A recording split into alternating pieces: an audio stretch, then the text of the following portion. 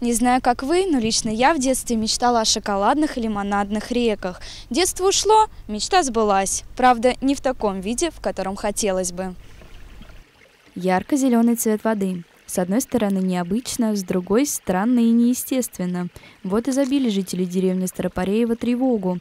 Говорят, что местное предприятие, производящее прохладительные напитки, среди которых тархун приятного зеленого цвета, сбрасывает отходы через трубу в реку. Не менее абсурден и тот факт, что на месте сброса, где должен быть овраг, уже образовалась полноценная речка. Мы с вами стоим на берегу реки, и запах дюшеса ощущается очень хорошо.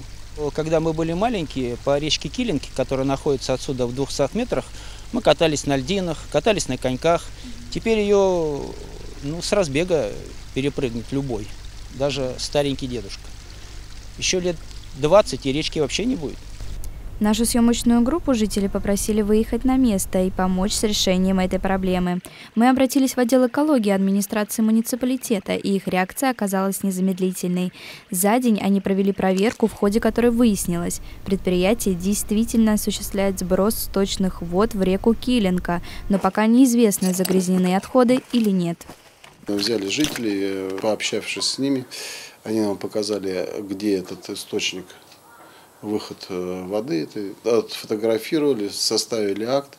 И в соответствии с этим э, приняли, было принято решение о том, что, чтобы уведомить Министерство экологии, чтобы они направили инспектора и, э, скажем так, отреагировали. Письмо в Министерство экологии и природопользования уже отправлено. Эксперты выйдут на место в ближайшее время. Предприниматель уже отчитался перед администрацией, обещал все трубы убрать, а также планирует сделать дополнительную экспертизу, чтобы доказать чистоту воды. Ну, если э, подтвердится факт того, что это э, чистая вода, значит, э, штрафных санкций никаких не будет.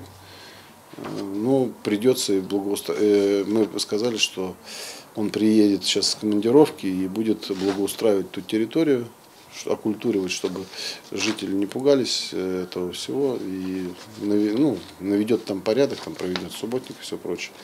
Нам, мы, естественно, поясним это жителям, покажем все это. Я думаю, что если будет исход анализы будут э, плохие, значит, тогда будет тампонироваться это все, э, и э, предприятие должно будет делать или восстанавливать, или делать локальные очистные сооружения, и потом получать разрешение на выпуск этой воды.